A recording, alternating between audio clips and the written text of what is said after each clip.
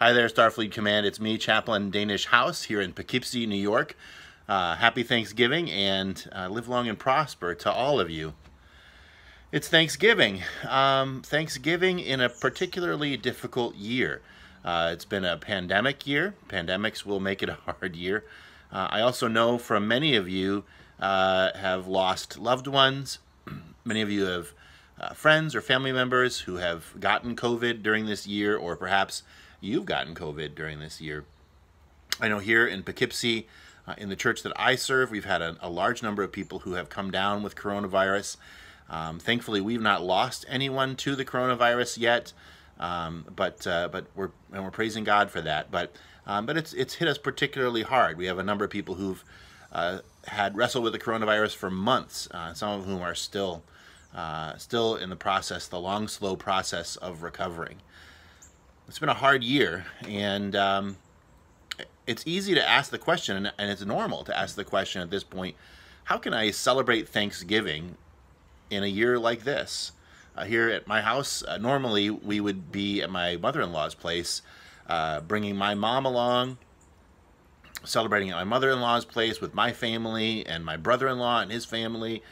Um, normally we'd be getting together uh, for a big Thanksgiving, cooking a 24 pound turkey and uh, and many pies and all that sorts of stuff. And this year it's just me and my wife and my children here uh, at the house. My mom uh, is at a senior living facility and she can't join us because of the rules at the facility trying to protect the residents from coronavirus.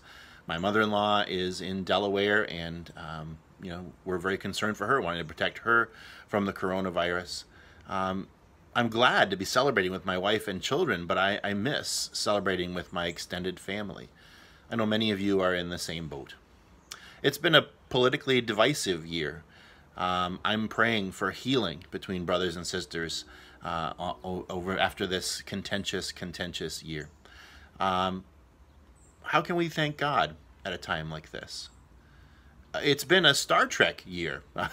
uh, many people say that we're in the platinum age of Star Trek. Star Trek Discovery, Star Trek Picard, Lower Decks just this year. Anticipating in the next year, uh, in addition to those shows, Prodigy, uh, starring uh, starring Kate Mulgrew as Kathryn Janeway, uh, Strange New Worlds with Captain Pike. That's actually the one I'm most looking forward to. Um, here in the pandemic, my family and my friends, we just started playing uh, Star Trek Adventures, the new role-playing game, newish role-playing game, uh, over Zoom.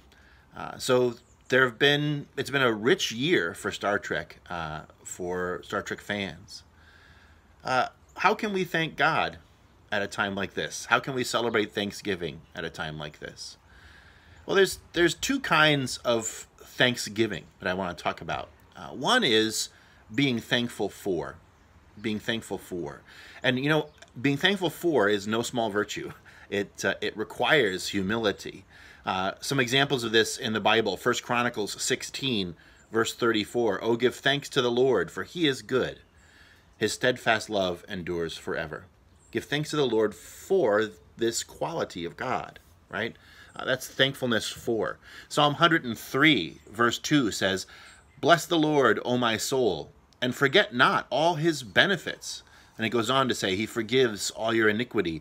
He heals all your diseases. He redeems your life from the pit. He crowns you with steadfast love and mercy. He satisfies you with good so that your youth is renewed like the eagles. That's thanking God for. Thanking God for uh, the things that God has done in your life. Uh, and usually thanking God for is a uh, is a is a subset of is, is done by thanking God after right? Uh, God has done something in the past and uh, and we are thankful to him for uh, the things that he's done in the past. Psalm 107 uh, recounts God's faithfulness in the past. Psalm 107 107 you go through it and it's like he did this he did this he did this he did this. All these different things. Give thanks to the Lord Giving thankful for is a learned skill. It's not something that we're born able to do.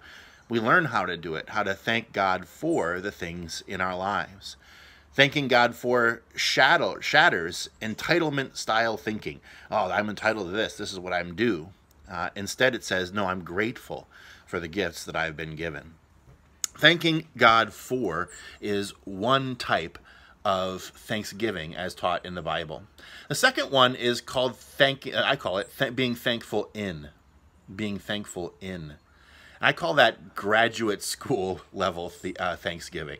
Uh, if thanking God for is a learned skill, you got to really learn it over your lifetime.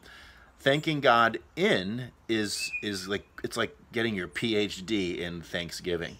It's thanking God in the midst of challenging times. 1 Thessalonians verse chapter 5 verse 16 says, "Rejoice always, pray without ceasing, give thanks in all circumstances, for this is the will of God in Christ Jesus for you." Thanking God in the middle of difficult situations. It's not just a mind game. It's not just sort of the power of positive thinking. I'm going to sort of will myself into thanking God, even though things stink. I'm going to pretend like they don't stink. That's not what it's talking about here.